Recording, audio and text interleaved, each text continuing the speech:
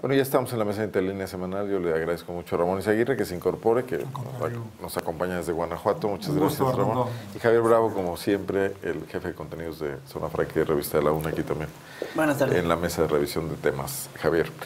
A ver, eh, pues eh, no podemos evitar el asunto de mantener la observación sobre qué, cómo se va configurando lo que ya sabemos que existía, partidos profundamente eh, metidos en crisis políticas, en crisis internas, en crisis de organización, en crisis de representación, los organismos políticos que ya no están cumpliendo la función para la que los prevé la Constitución y el marco legal, ¿no? para buscar representar a los ciudadanos a través de procesos de elección. Y Guanajuato es un muestrario de cosas. Hoy vemos que lo que venían siendo las dos principales fuerzas políticas en los últimos años, el PRI, que gobernó muchos años Guanajuato, hasta 1991, y el PAN, que lo viene gobernando de, entonces a la fecha, más de un cuarto de siglo, eh, sufren un retroceso que parece eh, que precipita situaciones que veíamos antes. 2012, eh, cuando le toman el partido a Juan Ignacio Torres Landa, sus mismos correligionarios, encabezados por este hombre que es diputado y Rigoberto Paredes, y detrás de ello Gerardo Sánchez, todo el mundo decía, ¿cómo es posible que esto pase? Y con esa fama, Gerardo Sánchez manejó siempre el petate del muerto de que si él no era candidato iba a ser un relajo. Mm. Bueno, pues él es candidato y hay un relajo. Y el relajo no tiene que ver solo con sus oponentes, que en un momento dado fueron sus aliados. Miguel Ángel Chico y Bárbara Botello lo acompañaron en la aventura de hacer a Santiago García dirigente estatal del PRI sino también, y, bueno, y luego se distanciaron por los modos de Gerardo Sánchez de conducir eh, esta coalición política, ¿no? Sino también hoy metido en crisis con quienes son sus más leales seguidores, como es el caso de Montserrat Vázquez en, en Celaya, ¿no? Y, bueno, parece que en algunas otras partes también eh, se presentarán conflictos. Taina Barrete también ha sido una de sus seguidoras o en un momento dado Connie Navarrete en, en, Abasolo, que hoy está siendo, asumiendo una candidatura por el Partido Verde, bueno, una precandidatura todavía. Entonces, eh, vemos un PRI que no acaba de cubrir ni siquiera candidatos en todos los eh, distritos y municipios del Estado, que se le están cayendo, que hay declaratorias desiertas, que tiene conflictos entre los mismos gerardistas y obviamente no se diga con los externos que obviamente, evidentemente, está saboteando a los candidatos que le impusieron desde México, como es el caso de Yulma Rocha en Irapuato, ¿no? Y bueno, pues con perspectivas, expectativas de que se hunda tanto que llegue a competir con Morena y con el Verde por terceras y cuartas posiciones, lo cual habla ya de una debacle total, ¿no? Y sobre todo lo, más eh, visible, que es la incapacidad política para procesar eh, las diferencias, los puntos de vista distintos, los intereses contrapuestos, que, te habla de lo esencial de la política. ¿no? Pero no solo incapacidad, no hay ni siquiera disposición. ¿no? Yo iría más atrás.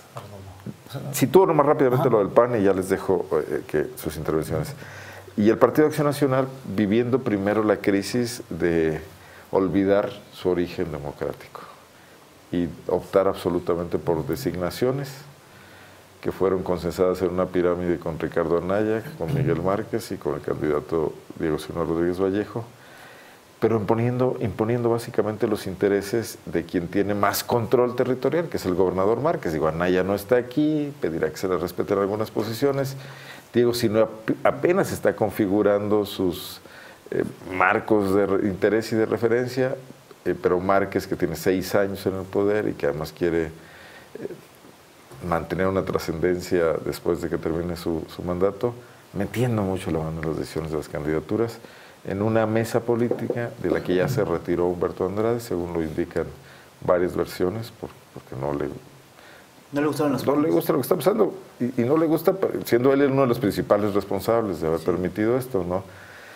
Y donde asume un protagonismo eh, Juanita de la Cruz Martínez Andrade desde la coordinación de estrategia política del gobernador, en una total intromisión del Poder Ejecutivo en el PAN.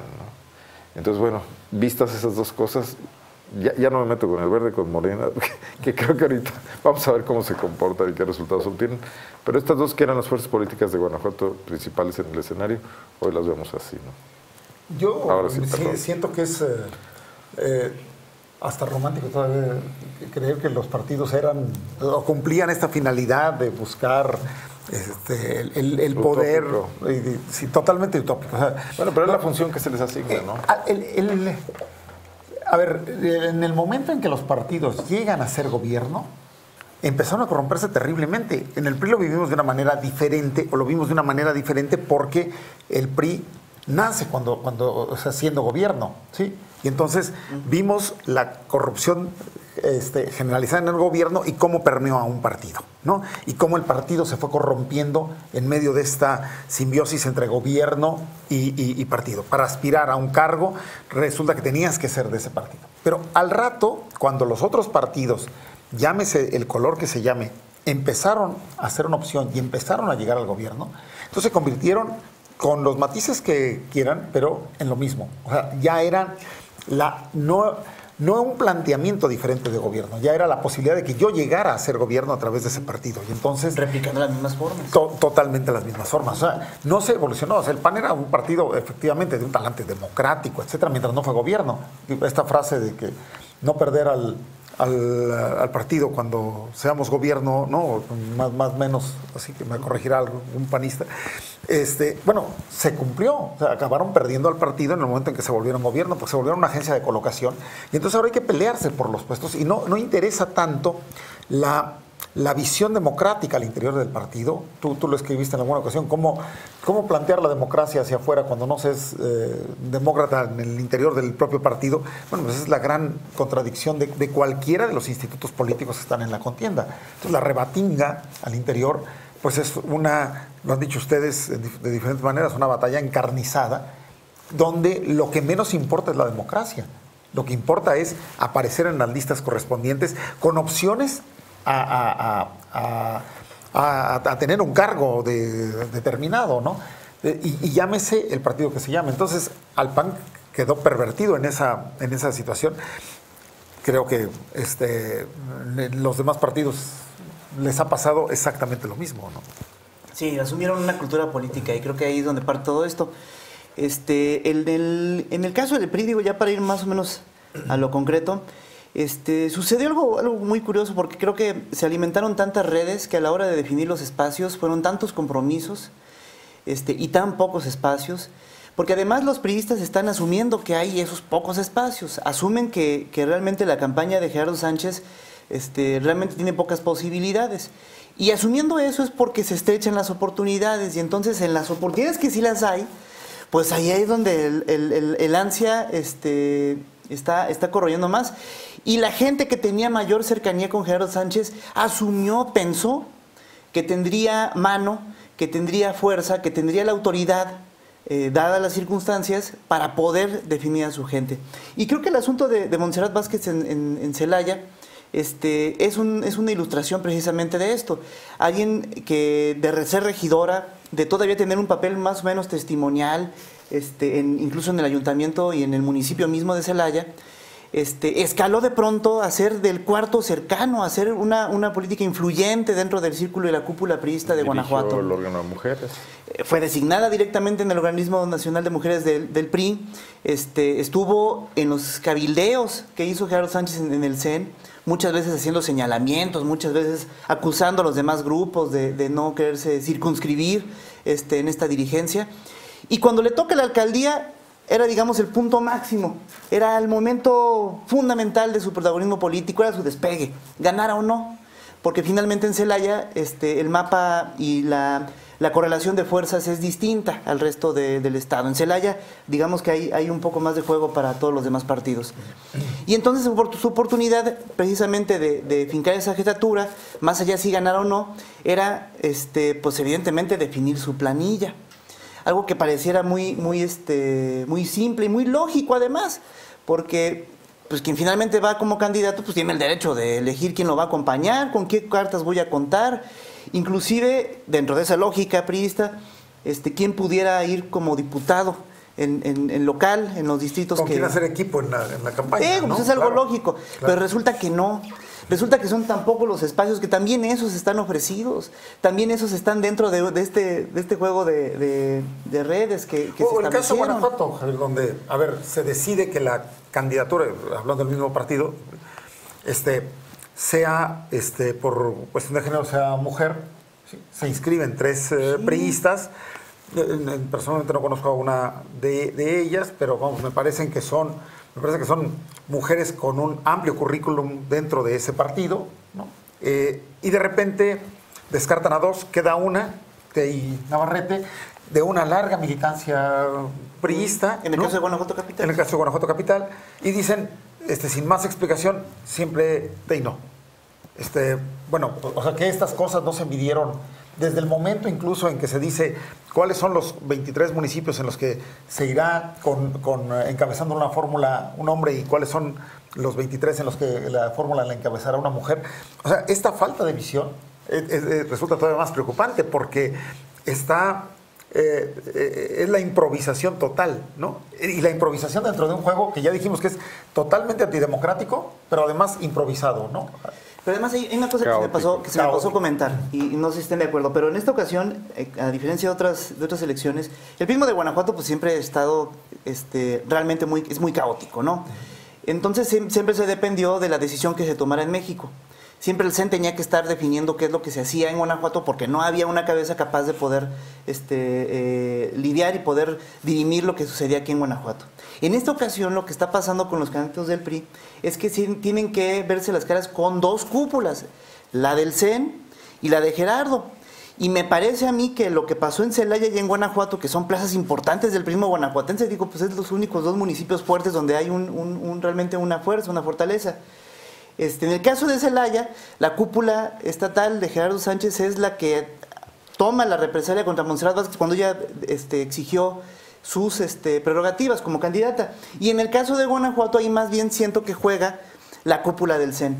Entonces ahorita es peor todavía que en otras ocasiones. La pelea se da entre dos cúpulas, la nacional, donde solamente algunos guanajuatenses priistas tienen influencia, y la local, donde los espacios son realmente muy, muy escasos. Ahora, yo sí haría énfasis en que las cosas están empeorando.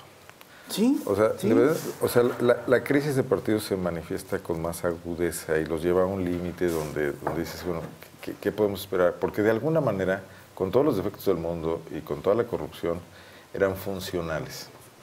Estaban constituyendo poderes, estaban constituyendo cámaras, estaban estableciendo negociaciones. Podemos escandalizarnos o no de lo que hacían, pero ahorita estamos viendo una especie de colapso. O sea, este PAN, que con todo y todo organizaba sus elecciones internas, hacía sus asambleas, con el defecto de la compra de voto, que siempre se señalaban por los perdedores, la afiliación los ganadores, o, con el tema de, sí, que la afiliación masiva fue el escándalo de 2012, pero que tenía mm, unos protocolos democráticos, que es con los que funciona la vida política, con ciertas cuestiones ceremoniales, ¿no? Hoy de tajo se corta y se van por la comodidad y con la pragmática. No, porque yo creo que yo creo que la contienda de Liceo Martínez contra ah, Juan Carlos Romero, a ver, ese era un PAN que ya tenía 10 años gobernando. Ya tenía 10 años gobernando y Pero te vas al anterior, este, y yo creo que ya, ya el PAN, en el anterior municipal, en el anterior eh, gobernador, no, ya no. A ver, pero hay que, los matices son muy importantes, Ramón, porque Juan Manuel Oliva gana una contienda contra un candidato de un presidente de la República y de una dirigencia nacional del PAN, contra un Vicente Fox. Había un peso específico. O sea, había un PAN en Guanajuato actuante, así fuese en, medio de una secta política. Y Miguel Márquez se enfrenta a un Córdoba Villalobos que, que traía una representación nacional fuerte. Hoy, Diego si no logra el favor de Ricardo Anaya y ni siquiera hay contienda. O sea, no entra ni siquiera a la contienda. ¿no? Ese PAN que de alguna manera tenía una energía para resistir una imposición nacional y quizás generar una imposición local, hoy desaparece de tajo. Sea, Diego no tuvo que ir a hacer como Márquez una campaña al Estado o como Oliva una campaña de tres años y antes ser secretario de gobierno que por lo menos lo legitimara, ¿no? Para formar esas bases de apoyo, ¿no? Lo cual sí va a generar consecuencias políticas. Ya lo estamos viendo en este asunto de la elección de candidatos. Pero no sientes que eso fue lo que se vino, o sea, lo que está pasando hoy es precisamente lo que se vino, yo no sé si, deliberadamente, pero a mí sí me parece que es consecuencia de lo que ha, ha venido ocurriendo en los otros procesos internos. Hoy sí es cierto, es más caótico, pero se había venido caminando hacia acá. A lo mejor, insisto, no, no que hubieran trazado que así fuera. No, pero, hay, pero hay matices, o sea, o sea, es como la rana que está en el agua que, y le subes la temperatura. Sí, o sea, tú me dices, empezó a subir cuando pasó de 0 grados a 5. Sí, pero cuando llegó a los 80 estabas frito.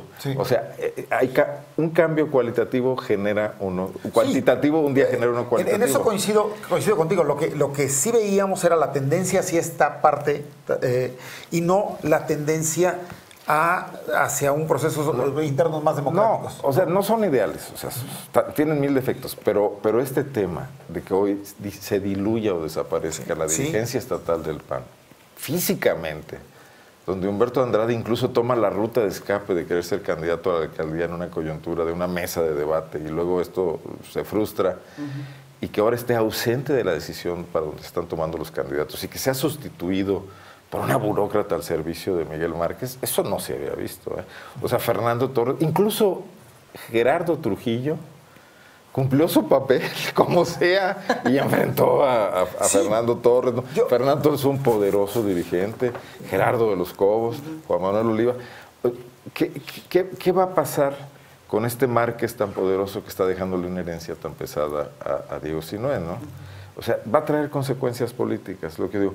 ¿Qué va a pasar en el PRI con un Gerardo Sánchez tan incapaz de gestionar ni siquiera un proceso de selección de candidatos? Que de alguna manera Juan Ignacio Torres Landa con todos sus defectos fue y puso a los que quiso en Salamanca y aquí un poco lo forzó Bárbara Botello con el verde, pero negoció con ellos, movió a Jorge Videgar allá a la diputación plurinominal. y había una gestión, ¿no? Sí. Ahorita estamos viendo el fracaso incluso de gestión, entonces yo sí veo hoy un desplome de, una situación que sí ciertamente viene en descenso, pero pum, de repente aquí se nos cae por completo. Esto que está pasando en Guanajuato, subir, bajar. o sea, a lo mejor podrías designar por designar, pero tendrías que negociar, tenías que dialogar, tenías que sentarte con todos. Este, simular una asamblea. Simular, una asamblea. Se la ahorran. yo recuerdo. En el PAN, en el PAN hacían su, su elección interna, hacían el proceso, hacían todo el protocolo vamos, yo creo que un poco lo que, lo que, más allá si estamos en un proceso de degradación, tendríamos que ver a los personajes cómo fueron poco a poco, este, precisamente abandonando esa línea, abandonando esa naturaleza, este, para tomar, tomar ya este, una, a medidas mucho más arbitrarias. Exacto. Yo pondré un ejemplo, el de Miguel Márquez, un poco haciendo, concatenando, digo, este, está muy sabroso el debate entre ustedes dos, pero un poco concatenando lo que, lo que dicen tres, pues. No, digo, pero yo estoy en medio, estoy, estoy, escuchando a los que saben. Este, si por ejemplo observamos a Miguel Márquez, ¿no? Él fue legitimado en un proceso este, interno electoral este, interno. Toma la candidatura finalmente por la vía del voto este, y de una elección interna, una contienda interna en, Acción Nacional. Toma, la, toma las redes, toma debate. Hicieron un debate. Hubo dos debates. Uno que, ah, sí, uno, uno lo moderé yo. Este, eh, digo, tú puedes decir, pues, la religión católica es una farsa, pero pues ir a misa los domingos es muy importante para mucha gente. es un ritual. Bueno, esos cumplían ciertos rituales democráticos. ¿Qué, ¿Qué, se plantea cuando hay una situación de elección de alguien? A ver, que tengan un debate público. ¿no? el PAN tenía debates. Hoy creo que no llegaron ni a registrarse. No, llegaron ni a registrarse los precandidatos. ¿eh? coincido contigo en que, en que la situación hoy es todavía más grave y mucho más caótica. Lo, lo, que digo es, lamentablemente en este curso no había nada hacia el otro lado. No había nada hacia una tendencia democrática. Al contrario, se, estuvo empujando. Bueno, pero la, la gran lección es que el deterioro sí produce eh, consecuencias. Oh, por supuesto. Lo que piensan muchos políticos que dicen, esto todavía aguanta, no, podemos seguir. los, y el ejemplo, los, camachos de este mundo. Y, el ejemplo puede ser eh, precisamente el PRI, eh, lo, que mencionaba ahorita Javier. A ver, este, Torrelanda quiso poner a ciertos candidatos en, yo, recuerdo, el corredor industrial y en lugares... Uno más tres o tres más uno. Exacto, buscando ganar a, través de ellos la zona más poblada, ¿no? O sea, electoralmente la, zona más, más, poblada del, Estado para tratar de sumar. ¿sí? Hoy mucha de esa gente dice, no porque voy a perder, ¿sí? Eh, o sea, cuando veían una fórmula que pudiera tener alguna posibilidad este, de Este descaro, este descaro cínico y pueril y absurdo de la dirigencia del partido de decir, ay, que sea candidato cualquiera. Lo importante son el regidor 1 y 2. ¿eh? Exacto. Que lo están diciendo. O sea, ni siquiera van con el asunto. Si te quiero convencer de que seas candidato, te vamos a apoyar para que puedas ganar. Necesitamos que consigas votos para nuestro candidato a gobernador, nuestro candidato a la presidencia. Sino que están diciendo, manda al que sea, deja que pierda, queremos dos regidores. O sea, Santiago García, su lema de campaña fue que ellos no iban a administrar las derrotas, que no le criticando a Pancho Arroyo Vieira de que habían administrado las derrotas su grupo político. Bueno, yo decía hoy, bueno, creo que Arroyo por lo menos las administró bien, las vendía caras, pero estos las están vendiendo baratísimas, ¿no? Hay, hay un se, derrotado. Hay, una degeneración política. Ni siquiera se puede llamar pragmatismo. No, no, no, no, no. Es, es, es, Digo, lo otro pragmático. Pues, total, aquí no voy a ganar, está bien, pero vamos a hacer. Es una pésima gestión de, incluso de eso, de, las derrotas, ¿no? No, además, bueno, pues buscar en las plazas eh, difíciles pues empezar a construir algo diferente, ¿no? O sea, a lo mejor no vas a ganar esta elección, pero con un candidato o una candidata con ciertas características vas a hacer un rival fuerte que va a ir construyendo hacia adelante, ¿no? A mí me queda una ah, muy clara idea y me atrevo a decirla de que Gerardo Sánchez tiene un pacto con Miguel Márquez, ¿no? Que lo que quiere es algunas posiciones en el Congreso y unas cuantas regidurías y seguir administrando lo que quede del PRI en Guanajuato. Por eso está eh, permitiéndole o impulsando a Irma Leticia. Morena, Irma Leticia González. González. Irapuato. Que se vaya por Morena. Eso sería pragmático.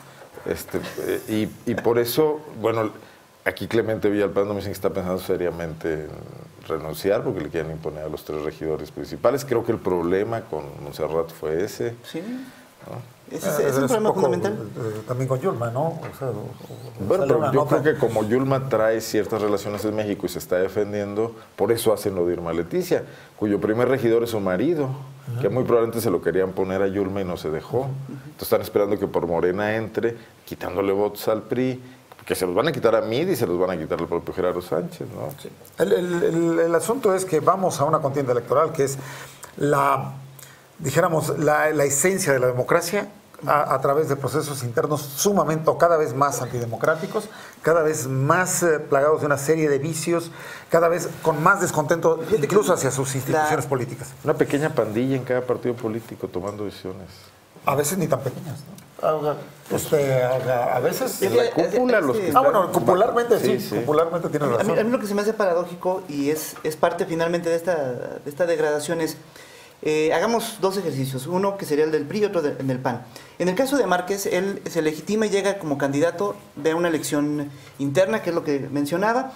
Este, prácticamente le ponen a su disposición toda una, una, red en todo el estado que le hizo capaz no solamente de ganar la candidatura, sino también de llegar a ser gobernador.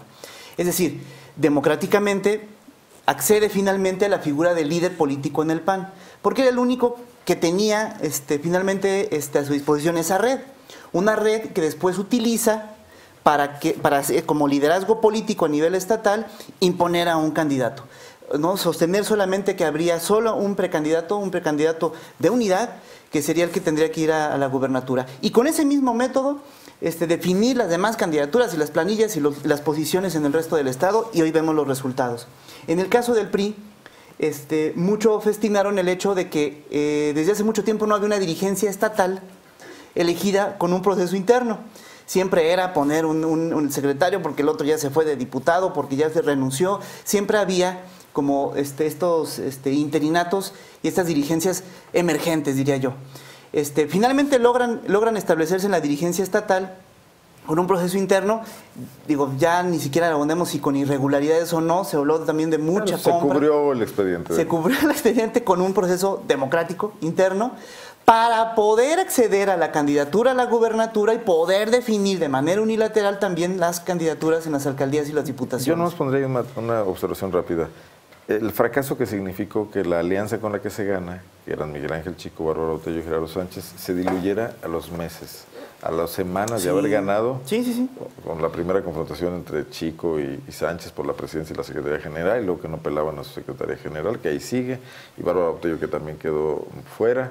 Entonces, una alianza que no dura ni la víspera, pues habla de muy mala capacidad política, ¿no? ¿Sí? Yo, lo que, yo lo que concluiría es, eh, tenemos, estamos ante partidos, este, por lo menos en Guanajuato, y me atrevo a decir que en varias partes del país, si no en todo, estamos ante partidos que acceden o que enarbolan la democracia para poder acceder al poder político, para que en ese poder político poder proceder con acciones antidemocráticas. Yo creo que esa es la gran disfunción que tenemos en México, en este sistema democrático partidos que solamente les gusta la democracia cuando ésta les favorece y cuando ya llegan al poder político, su, finalmente su inclinación siempre es a este, accionar o a, tener finalmente decisiones de manera unilateral y totalmente vertical. Y ahí es donde esto hace crisis. ¿no? Esto es lo que, lo que está haciendo crisis en este momento en el PAN y en el PRI de Guanajuato. Pero yo insistiría, Javier, y, y ahí es parte de mi desacuerdo con Arnoldo. A ver, el, el, punto está en que ya había un maquillaje democrático. O sea, a lo mejor sí teníamos debates, teníamos una serie de cosas, pero sobre cartas marcadas. O sea, ya cuando la, base o la, actividad democrática de los partidos, la entrecomillamos, este, eh, y la, estamos asumiendo en buena medida esto como una simulación. Ya se estaban simulando mucho más cosas que las que estaban siendo realmente democráticas esta tendencia a simular la democracia en, los partidos está llevando a cada uno de ellos a esta debacle. Es que cuando tienes una cultura política que, tiene, que tiene esta, esta previsión de las cosas, pues no pueden actuar de otra manera. O sea, hoy, hoy se está cayendo el, maquillaje que antes ponían y pues sí te daban uno que otro debate. A ver, sí, pero ¿sabías quién iba a ser el ganador? Y, lo sabían los de adentro, lo sabían los de afuera. Las campañas presidenciales del 2000 del 2006 y del 2012 hubo incertidumbre democrática en quién iba a ser el ganador. No sabías quién iba a ser el ganador. Me, refiero a la, contienda interna en, los partidos. O sea, en la, contienda interna de los partidos, o sea, este, las cartas están más, no, más que marcadas, el PRI nunca, salvo El PRI nunca tuvo democracia, ¿no? Madrazo le ganó sí, Ya afuera, pues te enfrentas a una contienda este, eh, a ver, pero no, real. es que revisemos la historia. O sea, Calderón sí ganó su candidatura contra Vicente Fox y contra Santiago Krill, ¿no? O sea, Calderón, acuérdese que lo corrió del gabinete Fox porque se lanzó por su cuenta. Yo creo que Calderón recurrió a la base eh, política del PAN y ahí no hubo dedazo. No, a ver. Y hubo debates públicos. E, esa la, ganó a la buena, digo, dentro de las reglas del fue posible. Yo, no, desvaloraría eso de, de esta manera. O sea, aquí en Guanajuato, Juan Manuel Oliver, el dueño del PAN, no había objeción alguna a él era, era el, candidato y el, más influyente del partido. Él ganó su elección sobre Javier Usabiaga con una amplitud enorme y luego no pudo hacer ganar al famoso caballo negro, aquel exgobernador de Jalisco. De Jalisco sí que era al que estaba respaldando, porque un mismo origen yunque, y en Guanajuato gana Calderón. Gana porque la militancia del PAN votó por Calderón. Triunfo que se colgaron y cobraron carísimo Luis Alberto Villarreal y Ricardo Sheffield, porque eran los operadores casuales que no hicieron nada. O sea, dieron, sí, sí, pues dijeron, nosotros éramos coordinados y ganamos Guanajuato. No, los panistas que bueno, en un momento votaron por Oliva, en el otro momento votaron por Carlos. Y ahí no puedes hablar de, de, acarreo de votos, porque Oliva hubiera ganado y hubiera ganado el caballo negro y no ganó. Entonces yo creo que sí hubo momentos en los que parecía posible procesar con todos los defectos que tienen las democracias en todo el mundo ciertas decisiones menos cupulares. Entonces, por eso yo sigo que hay un retroceso. No fue el caso de Josefina, que creo que Josefina, ahí Calderón se impuso desde el poder, ¿no? Ajá. Sí, mi observación es, esas excepciones son eso, son más excepciones que una tendencia. La tendencia lamentablemente era otra. Entonces, hoy, vemos que, esa tendencia prevaleció. Pero, revisemos el PAN. Ajá. 2000, Fox se apropia de la candidatura desde la oposición, sin, sin, contra la cúpula panista, que era Diego Fernández de Ceballos, que era el, el yucateco aquel con una maniobra política orquestada desde los grupos empresariales y desde muchos apoyos, quizás. Pero antes de eso, yo creo que el PAN tiene una vida democrática.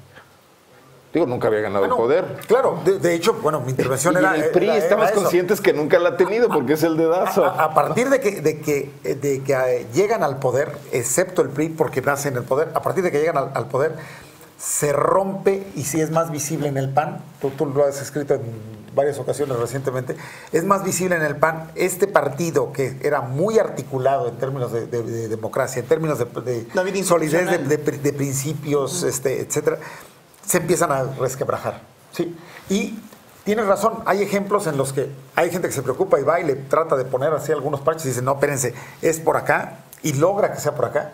Pero lamentablemente no, no más que los episodios electorales, que son cada tres o cada seis años. Sí, que es cuando se activan Pero aquí los que cubren la fuente recuerdan grandes batallas en los comités distritales entre Pilar Ortega y Diego sí. Sino Rodríguez Vallejo, entre Ricardo Sheffield y, Ricardo Alanices. No, la había... de Ricardo Sheffield y Salim. Sí, o sea, claro. con un partido acotado, con un padrón acotado, que luego ellos mismos vulneraron cuando lo inflaron pero sí había, no, no podemos negar esa historia, digo, así como decís, el germen de la, de la mala vibra viene desde siempre. No, ha habido, ya ha tenido momentos de recuperación, ¿Por qué, razón. Porque eso le quita responsabilidad a los que le han dado en la torre esta vez. Y yo creo que Márquez es un gran responsable de acabar con la vida democrática en el PAN. Yo iría con esta intromisión más bien a analizar ese proceso que mencionas, pero con los personajes, Ramón. Creo que es, que es donde es más visible y donde es este, mucho más contundente eso que mencionas, que es real, pero en los personajes. Y esos personajes son los que construyen los partidos. Y entonces, dependiendo de dónde estén esos personajes en el momento coyuntural. Eh, tiene razón, En el, en el momento coyuntural de las decisiones es cuando vamos a ver de qué, de qué manera o de qué forma se van a poner de acuerdo estos. Entonces, es diferente el Márquez candidato o precandidato o siendo el delfín del gobernador, ¿no? En aquel momento, en 2012, al Márquez de ahora, ¿no? Entonces, yo creo que esos procesos hay que observarlos más, incluso con los grupos políticos puede hacer en algunos momentos de la historia, en algún momento, este, pero en los partidos creo que hay muchos devaneos. Eh, yo creo que tomando en cuenta los ejemplos que nos da Arnoldo, eh, dentro de la, del, del, PAN en el poder, creo que se pueden volver excepciones, pero por lo corto que tenemos todavía. Yo insistiría en eso. Observemos a los personajes. Observemos a quienes son los que en ese momento dirigían el partido cuando se tomaban las decisiones, qué grupos políticos pertenecían, dónde están ahora. ¿No? Luis Felipe Bravo Mena, por ejemplo, ¿no? Este, que fue muchas veces el, dirigente nacional del PAN. una vez. ¿Qué está haciendo ahora? ¿no? Tienes, tienes razón, y yo creo que es muy importante, pero a ver, el problema, como, como iniciaba esta discusión, es dando por hecho, y creo que los tres coincidimos en un caos mm, real, una situación muy caótica. Habíamos venido hablando de la crisis en los partidos pero nunca se nos había expuesto con las tripas tan de fuera y tan putrefactas como hoy, ¿no? Totalmente de acuerdo. Ahora, o sea, los, muy enterados sabían que pasaban cosas, pero yo creo que lo puede ver mucha más La situación hoy presenta una crisis tal que, ¿cómo, le ves eh, salida a esta crisis de partidos? Eh, es más, ya no, bueno, de aquí a la, elección, a, que terminen las elecciones internas y la elección del primero de, julio, pero que, que haya un partido cualquiera de estos que se reconstruya democráticamente se ve cada vez más difícil. No, yo no le veo solución, lo que le veo son consecuencias. Exacto. Y, el camino del deterioro y de la degradación es infinito. O sea, sí podemos pasar etapas más, más delicadas. Hasta ahorita en el PRI ha sido infinito. O sea, hoy ya tenemos un, país que, tiene, que tiene zonas eh, absolutamente desgobernadas, zonas geográficas y zonas de la vida pública y zonas del sector financiero que son zonas oscuras, que no, no, se, no, gobierna nadie, ¿no?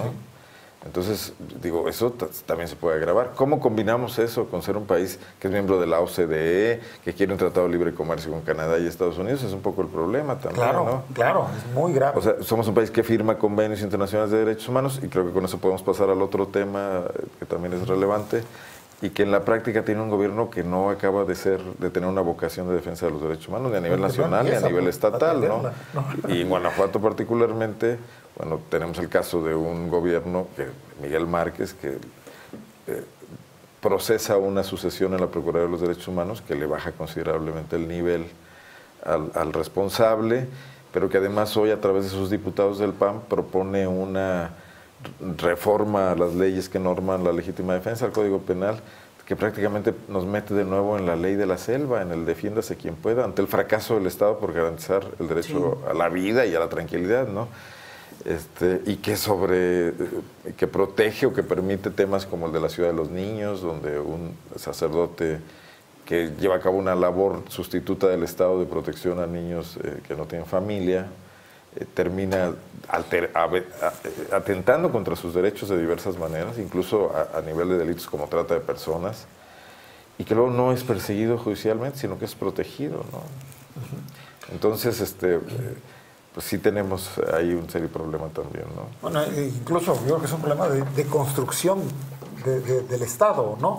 Mientras eh, estábamos pretendiendo que el Estado se estuviera construyendo en términos, como bien lo mencionas, Arnoldo, de, convenciones internacionales, de acuerdos desde ONU, desde organismos internacionales, sobre todo favoreciendo, obviamente, derechos fundamentales como estos, y que estos abonaban precisamente a construir y a darle solidez a este Estado, resulta que eh, caen en cuenta que estorban y que entonces hay que prescindir de ellos. La ley de seguridad es un caso en donde inéditamente, lo llegamos a comentar aquí, eh, se pronuncia hasta la ONU, se pronuncian las grandes organizaciones defensoras de derechos humanos diciendo así no, y al Estado mexicano le vale gorro y dice así es como quiero hacerlo. Y, en su proporción, ahora al, Estado de Guanajuato, ¿no? donde dice, a ver, la CNDH puede estar diciendo que así no es, esta no es la legislación que debemos de tener, pero me vale sombrilla y quito esto. O sea, el ir deconstruyendo algo que, que, en términos constitucionales se había logrado con la reforma de 2011, toda, toda esta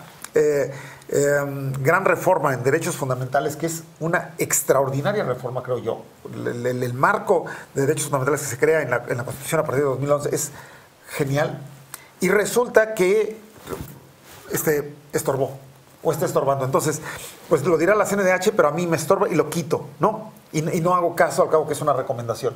No, o sea, tendría eso que tener un peso todavía mucho mayor en términos hasta morales, en términos éticos, es decir, no puedes desatender una recomendación de la ONU o de, derechos humanos, ya sea estatal o ya sea federal, porque eso te tendría que hacer precisamente estar rectificando y sin embargo pasa y no pasa absolutamente nada, ¿no? O sea, no, no, eh, eh, se decide no, no, acatar una recomendación de estas y la, Procuraduría Estatal de los Derechos Humanos se va se pega a la pared, ¿sí? Iba a decir se va a pegar, pero como, como, si no estuviera, ¿no? Se pega a la pared y la CNDH, pues lamentablemente se, se, quedará con su recomendación y con un movimiento de organizaciones diciendo no y con unos diputados diciendo sí, ¿no? Gente, lo que, lo que dice se cristaliza muy bien cuando vemos la ligereza con la que, el, por lo menos en el Congreso de Guanajuato, se legisla totalmente al margen de los derechos humanos, al margen de la Procuraduría de los Derechos Humanos y la ligereza con la que la Procuraduría de los Derechos Humanos se este, exime de esa responsabilidad. Este, es, es impresionante la falta de diligencia que ha habido sobre las últimas reformas que se han realizado, sobre esta finalmente de la legítima defensa que el PAN busca extender, que con mucha facilidad cuando se le pregunta, oigan, pero ¿cómo van a ampliar un, este, un un este, tú sabrás mejor, este abogado, el, em, es que no es un tipo penal. La legítima defensa es un... Un eximiente de responsabilidad. Un eximiente de responsabilidad. ¿Cómo buscas ampliarlo si todavía está en revisión este, por, la Suprema Corte? ¿no? Todavía tienen que revisar si, si violentan no los derechos humanos. Fíjate. Y ellos con, una, con la mano en la ciudad dicen, no, es que estamos seguros de que sí va a pasar. Bueno, pues tienes una bola de cristal o... No, bueno, no, pues son mayoría. No, es que sí va a pasar. No, es, que, es que eso va a pasar. En términos de, de, construcción del Estado, a ver, se llega a una reforma, y yo sí creo que es parteaguas y, y aunque me da un poco o mucho reiterativo, se llega a una reforma este, constitucional en derechos humanos mucho, muy importante, en la que participamos hay que decirlo, ¿no? O sea, no solo la Cámara de Diputados Federal y el, y el Senado, sino las legislaturas estatales. ¿Sí? Y ahora resulta que no hay que hacer caso a eso. ¿sí? Ya cuando teníamos un marco normativo importante, acorde a estos convenios internacionales que estaba Arnoldo, entonces empezamos a quitarle. Eso es de construir un Estado. Eso es darle en la torre al Estado, desde, sea desde una diputación local, desde una diputación, desde un Congreso Federal como, como la Ley de Seguridad Nacional. Entonces, bueno, este tema es gravísimo. De, que, de, que, si el PG gana, seremos como Venezuela. Digo, en eso ya nos parecemos a Venezuela. ¿sí? Firmamos acuerdos con la comunidad internacional y adentro no los aplicamos. Exacto. Eso es lo que hace Venezuela precisamente. Eh, eh, eh, y es que es el, es el empeño finalmente donde llega una, una, este, una directriz en derechos humanos que tendría que ajustar las demás reglamentaciones para armonizarlo, pero no lo que hacemos es, esta que llega como modelo, la tenemos que manipular, la tenemos que manejar, porque resulta que ahora quiero esta ley de seguridad interior que no acomoda. Entonces hay que meterla este, con calzador y modificas esa parte en las reglamentaciones para poderla engranar. Eh, vamos, estamos sobre ocurrencias. Claro. ¿no? Sobre unas ocurrencias que cuando ya las llevas al terreno de, lo real, ¿no? Que ya es lo, que nos toca a los periodistas, ver los, ver los casos reales, ver las cosas que están ocurriendo en Guanajuato, en México, en el mundo. Este, que ves pues de ahí donde realmente están empezándose a cometer las, este, los excesos, donde el Estado comienza a ser un agresor.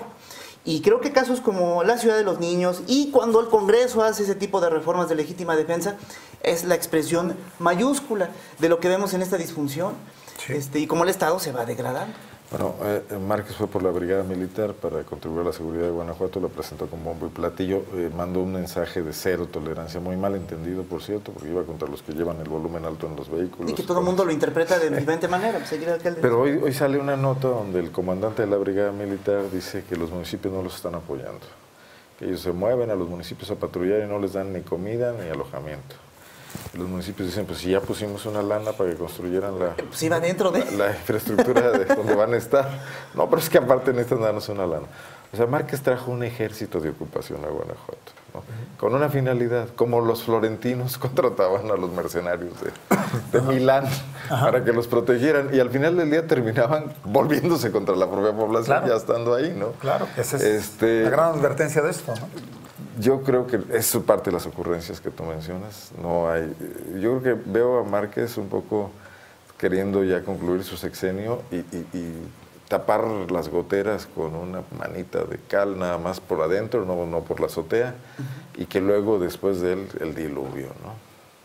Sí, sí, o sea, yo sí veo más, más caos y, menos, este, em, pues, eh, desde menos democracia sea, hasta mayor debilitamiento del Estado. O sea, sí estamos, creo, con una tendencia hacia una situación todavía más grave. O sea, quien crea que por, problemas de seguridad, por todo esto, estamos tocando fondo, creo que no. O sea, lamentablemente no es así. Nos falta todavía mucho que escarbar para sentir que hemos tocado fondo. Y, eso es muy grave. La posible solución o intento de solución o forma de equilibrar esto sería una mejor organización de la sociedad civil que tenga más capacidad de, autodefenderse, de plantarle cara al Estado y exigirle que cumpla con los mínimos a los que está obligado por manejar el presupuesto público. Y creo que es lo que nos queda.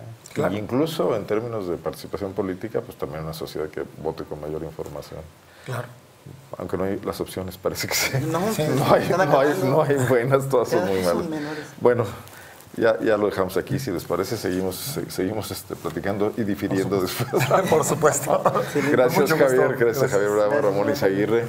Concluimos la semana, yo les agradezco mucho que nos sigan aquí en Revista de la Una. Nos vemos el lunes a las 13 horas. Soy Arnoldo Cuellar. Muy buenas tardes.